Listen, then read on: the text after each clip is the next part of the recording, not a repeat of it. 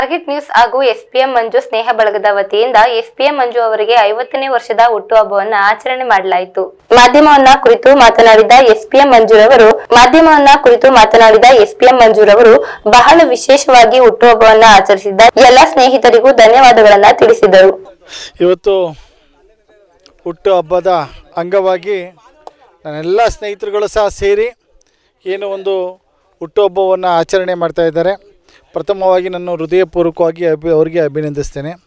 ಇವತ್ತೆಲ್ಲ ಸ್ನೇಹಿತರುಗಳು ಸಹ ಅವರ ವಿಶ್ವಾಸಪೂರ್ವಕವಾಗಿ ನನ್ನೆಲ್ಲ ಸ್ನೇಹಿತರುಗಳು ಸಹ ಇವತ್ತು ಒಂದು ಭೋಜನವನ್ನು ಅವರು ಏರ್ಪಡಿಸಿ ನನ್ನನ್ನು ಕರೆದು ಈ ಅಭಿನಂದಿಸುವಂಥ ಕೆಲಸವನ್ನು ಮಾಡಿದ್ದಾರೆ.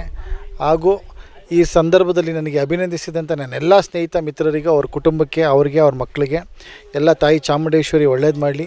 ಅವರ ಕುಟುಂಬ ಏನು ಉತ್ತಮ ರೀತಿಯಲ್ಲಿ ಈ ಸಮಾಜಕ್ಕೆ ಅವ್ರ ಮಕ್ಕಳುಗಳು ಏನು I A S, I P S ಮತ್ತು ಕೆ ಎಸ್ಸು, ಇನ್ನಿತರ ಉತ್ತಮ ಅಧಿಕಾರಿಗಳಾಗಿ ಹೊರಹೊಮ್ಮಲಿ ಅವರಿಗೆ ಅವ್ರ ಕುಟುಂಬಕ್ಕೆ ತಾಯಿ ಚಾಮುಂಡೇಶ್ವರಿ ಶಾಂತಿ, ಸುಖ, ನೆಮ್ಮದಿ ಕೊಟ್ಟು ಸುಖವಾಗಿ ಬಾಳಲಿ ಅಂತ ಈ ಸಂದರ್ಭದಲ್ಲಿ ನಾನು ಕೇಳಕ್ಕೆ ಇಚ್ಛೆಪಡ್ತೀನಿ. ಕಾರ್ಯಕ್ರಮದಲ್ಲಿ ಎಸ್ಪಿಎಂ ಮಂಜು, ಸ್ನೇಹ ಬಳಗದ ಮಹಾದೇವು, ರವಿಕುಮಾರ್, ಆನಂದ್ ಹಾಗೂ ಜೆಡಿಎಸ್ ಕಾರ್ಯಕರ್ತರು ಸೇರಿದಂತೆ ಟಾರ್ಗೆಟ್ ನ್ಯೂಸ್ನ ಎಲ್ಲ ಸಿಬ್ಬಂದಿಗಳು ಭಾಗಿಯಾಗಿದ್ದರು.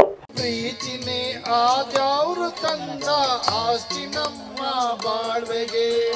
ಪ್ರೀತಿನೇ ಆದ್ಯಾವ್ರು ತಂದ ಆಸ್ತಿ ನಮ್ಮ ಬಾಳ್ವೆಗೆ. ಹಸಿವಿನಲ್ಲೋ ಅಪಾನೆ, ದಿನವು ನಿತ್ಯ ಉಗಾದಿನೆ ನನ್ನ ನಿನ್ನ ಬಾಳಿಗೆ. ಪ್ರೀತಿನೇ ಆದ್ಯಾವ್ರು ತಂದ ಆಸ್ತಿ ನಮ್ಮ ಬಾಳ್ವೆಗೆ.